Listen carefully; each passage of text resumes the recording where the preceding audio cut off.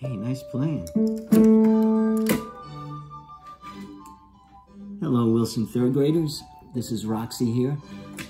She's gonna play the game song on the piano for you.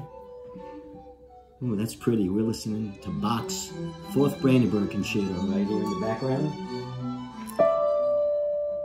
Nice, Roxy. So we're gonna practice the game song on the recorder and the keyboard if we have access to one. The notes are G, E, and there's also an A in it. Three notes. Ready, Roxy? Try it. G, E, G, E, G, G, E, A, G, E, G, G. There's the song. G, G, E, G, G, E, A, G, E.